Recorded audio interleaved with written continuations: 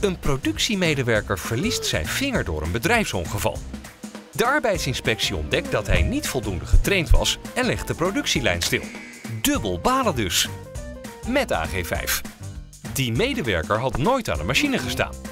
Want in AG5 zie je continu van je hele productieteam of iedereen gekwalificeerd is. De productielijn en de medewerker hadden allebei dus nog gewerkt. Beter! Overstappen naar AG5 is easy. Binnen één dag kun je over zijn.